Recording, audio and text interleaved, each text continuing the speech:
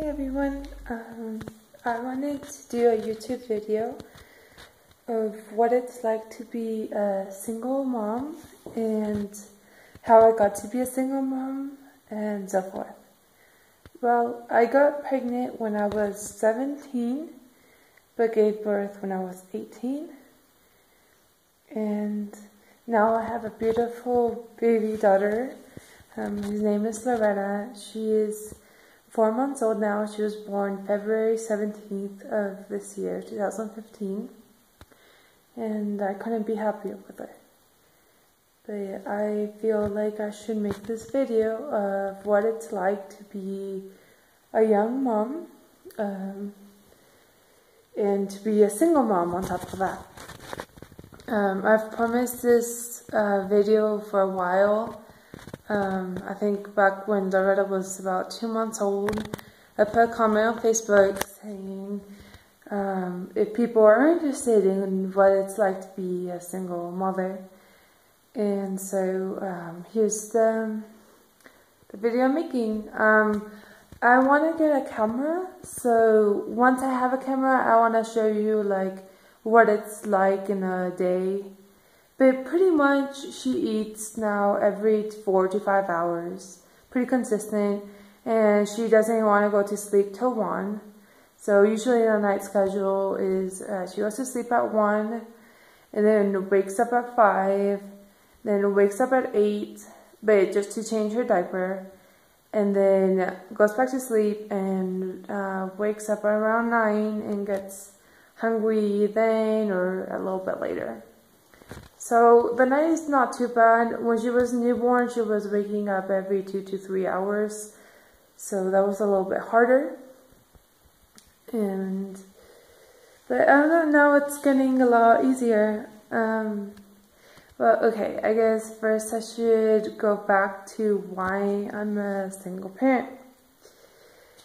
Well, when I was 15, um, I was a freshman in high school and I was very rebellious as a teenager. And so um, I was living here with my dad in Mexico. And because of poor behavior, my uncle in Austin decided to take me in. And that was about two to three days before um, Halloween in the year 2011. Well, um, I met this guy who I really loved, and his name was Ryder Featherstone. And I thought that we were going to get married together. We talked all the time. We had a really good relationship. Um, his family seemed so nice, and I just I felt happy. Uh, growing up, I felt alone a lot because um, I just felt like my parents didn't pay too much attention. Um, not that they didn't, I'm just talking about my own personal feelings. Um, anyway, so I just always felt alone and I really wanted to feel loved. That was very important to me. So when I met Ryder, um, I was just very happy. I loved having a boyfriend. I saw him every weekend and we seemed really happy together. Um, then in 2013, I decided that I wanted to move in with him. And so I did, and my family wasn't okay with it um, because I was only 16. Um, so I moved in with him and I got separated because I wanted to talk things out with my family, with my aunt and uncle who I was living with. And so when I did, they separated us. And and then I went six months here in Mexico. And that was so hard because I really missed Ryder. I thought of him all the time. Um, we talked a lot and everything just seemed to be horrible without him. I just couldn't wait to go back. I counted down the days for six months. And by the time it was uh, May of 2014, I moved in with him again. Um, and when I did, we had some issues. Um, I don't really want to go into it because I don't want to bash him. No, I just, any, anyways, we had some problems. Um, and I got pregnant at the same time. And I also broke my hand. So I went to Mexico, with my dad, so I can get surgery on my hand, which you can see right here. And I don't really want to go into why I broke it or how I broke it because it's kind of an embarrassing story. So I would really rather not. But anyways, I broke it and I got surgery. And about one or two days after the surgery, which was in July, um, July 14th or something like that, um, I got a call from Ryder saying that um, he was tired of paying for me. And I was really heartbroken. I really thought that we were going to be together forever. And I thought that we are going to raise this baby together. But it just didn't turn out that way. So I got um I got that call and then a day afterwards, um, he said that he wanted to marry me. And I said, well, you should get your priorities straight. straight. And because I was so mad that he would kick me out, I told him I was in love with someone, even though I wasn't. And because of that, he stopped talking to me. Uh, he stopped talking to me in August of 2014. And that just crushed me.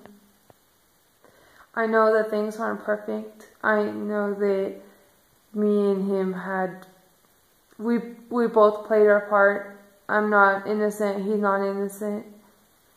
But I feel like we both did love each other. And it was very hard, at least for my part, that he left. And then I spent the whole pregnancy with my dad and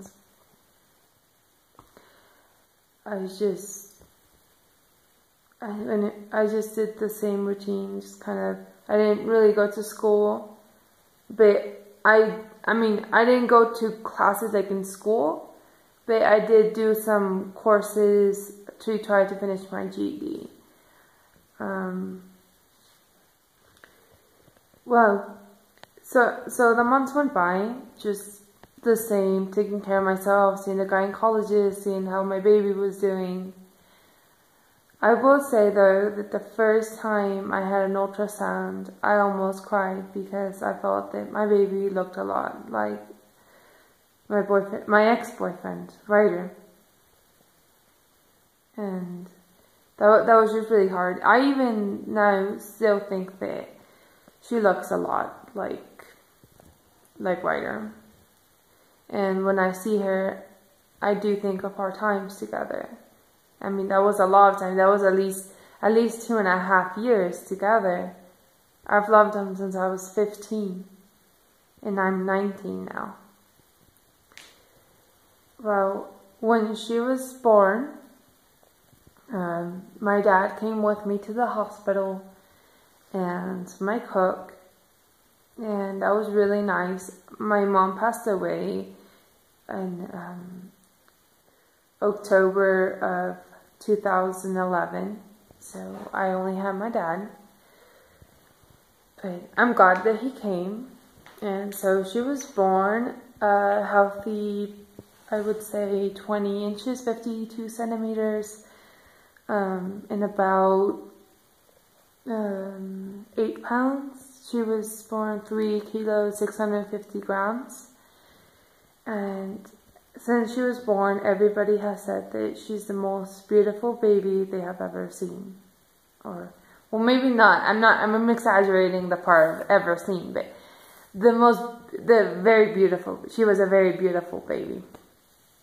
And very healthy, for the most part. And when she was born, I was really sad because I was sad and happy. I was happy to have her, but I was sad that I thought, wow, I'm going to do this alone. Um, so for a whole month, uh, my cook stayed with me the nights and the day. So that was so helpful. I really appreciate it. Um, I can't put it into words how much that meant to me that she was there throughout the whole process. And right after I gave birth, she bathed me. Um, so that meant a lot. I, also, I want to say part of the reason why I'm doing this video is so I never forget any of these details because I've been told that um, after some time passes, you forget some details. So that's also part of the reason why I'm doing this. And so uh, for one month, my my cook helped me with everything. And then after the words, I would stay alone in the night uh, with Loretta, my daughter. And that was hard because my dad was here, but he's 74 years old and he can't carry her much because his back hurts and she's heavy for him. So she he would grab him grab her maybe if I went to the bathroom for five minutes or something. But I, it was pretty much like I, I was alone at night and in the day. I'm if especially in the weekends. So I started staying the nights alone and the weekends alone. Uh, but I wouldn't say completely alone because about four or five times I did call my cook because I was really nervous. You know, before I had Loretta, I hadn't really been around babies. Um, so I was just re- really nervous, and sometimes when she started crying, I didn't know why and then how to help. So I will say that she did come about four or five times.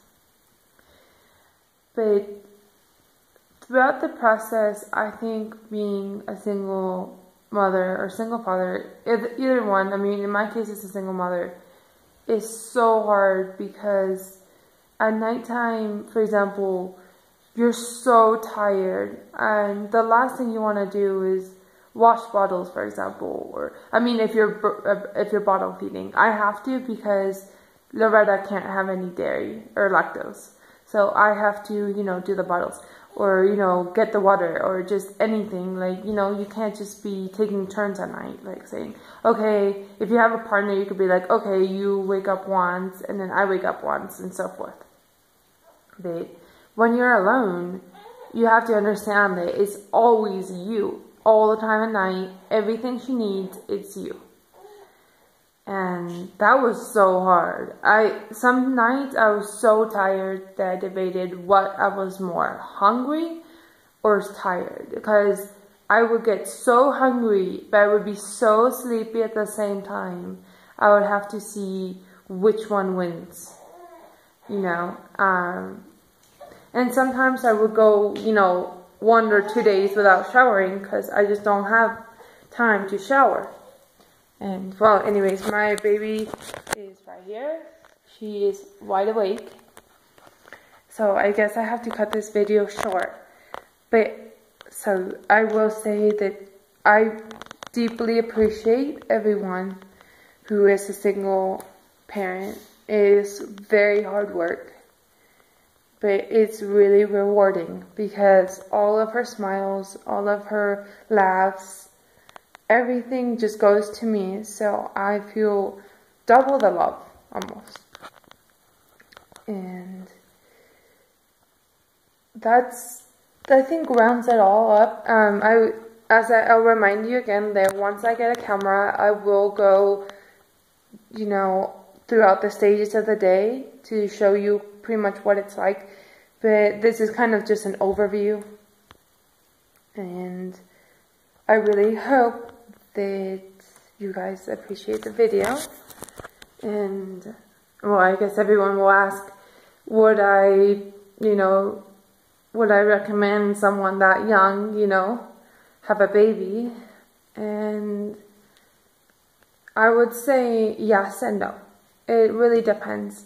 Um, one thing that you do lack is just freedom. You know, just you see your friends going out to parties, you see your friends doing things, and you know you have to stay home. So that is really hard. Um, but the reason why I say no is because I was really rebellious as a teenager, and now I've calmed down because I have a motive in life. So in that way, I'm so glad that I'm a mother because I have someone to to motivate me. And so yes, that pretty much rounds it all up. I'm sorry it's such a long video. I really hope you enjoy it and have a nice afternoon or day or morning wherever you are. And have a nice, well, oh, oh my goodness. Okay, I just said that, but I, as I said again, I hope you enjoy, enjoy the video. Bye.